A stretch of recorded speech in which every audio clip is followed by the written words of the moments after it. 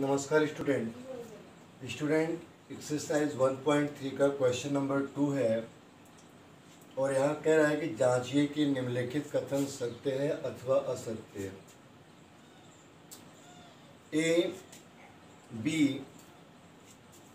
not subset of B C A ये बात जो है, असत्य है। क्योंकि जो समुच्चय है, वो ए बी है। ए बी के अवयव, जो ए बी का एलिमेंट है ए बी वो दूसरे समुच्चय बी सी ए में है। मतलब ए और बी इसमें मुझे मिल रहा है ए और बी अगर नहीं मिलता तो ये सत्य होता। मिलने के बाद भी कह रहा है कि ये ऐसा नहीं है। सबसेट नहीं है ये तो यहाँ पर ये क्या जाएगा? असत्य हो जाएगा। ए ई ए ई यहाँ पर सबसेट एक्स दैट एक्स अंग्रेज़ी वर्णमाला का एक स्वर है। ये होता है ए ई आई ओ यू है ना? तो ए ई जो है ए ई आई ओ यू वर्णमाला का एक स्वर है। ए ई यहाँ पर है ए ई यहाँ पर भी होगा। ए ई आई ओ यू अगर उस फॉर्म में लिखें तो। तो ये बात सत्य है कि A E is equal to X is that X अंग्रेज़ी वर्णमाला का एक स्वर है। इसी तरह से one two three subset one three five one two three subset one three five देखिए, यहाँ पर ये असत्य हो जाएगा। रीजन क्या है? जो समुच्चय है वन टू थ्री और वन थ्री फाइव में अवयव दो, समुच्चय वन थ्री फाइव में नहीं है। इसमें तो वन टू थ्री है। लेकिन इसमें वन टू थ्री नहीं है। ये तब होता है, ये कंडीशन तब आती है जैसे यहाँ पर वन टू थ्री हो, यहाँ पर भी वन टू थ्री हो फोर फाइव भले बाद में हो, कुछ भी हो, लेकिन वन टू जो एलिमेंट पहले वाले में है, वो एलिमेंट दूसरे वाले में होना चाहिए, ठीक है ना? तो इसलिए असत हो जाएगा। A subset A B C A subset A B C A belongs to ये बिलोंग का साइन होता है. A belongs to A B C A जो है ए बी सी से बिलोंग कर रहा है. इसलिए ए जो सबसेट है, वो ए बी सी है. इसलिए जो कथन होगा, वो सत्य होगा. ए सबसेट ए बी सी यहाँ पर है. अगला क्वेश्चन आपका है कि A subset A B C question number five पर,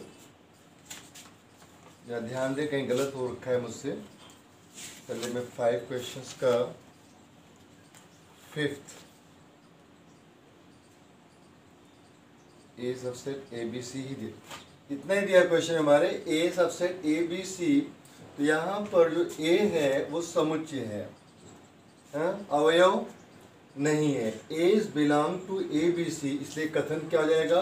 असत्य हो जाएगा। यहाँ पर अगर ये ना रोस्टर फॉर्म में इसका अगर ये होता, देखिए ए यहाँ पर ये अगर इस फॉर्म में होता, यहाँ पर ये करली ब्रैकेट लगा होता करली ब्रैकेट ना होने के कारण ये सत्य हो गया। अगर ये करली ब्रैकेट होता तो इसका एक एलिमेंट यहाँ तो है ना तो ये सत्य हो जाता।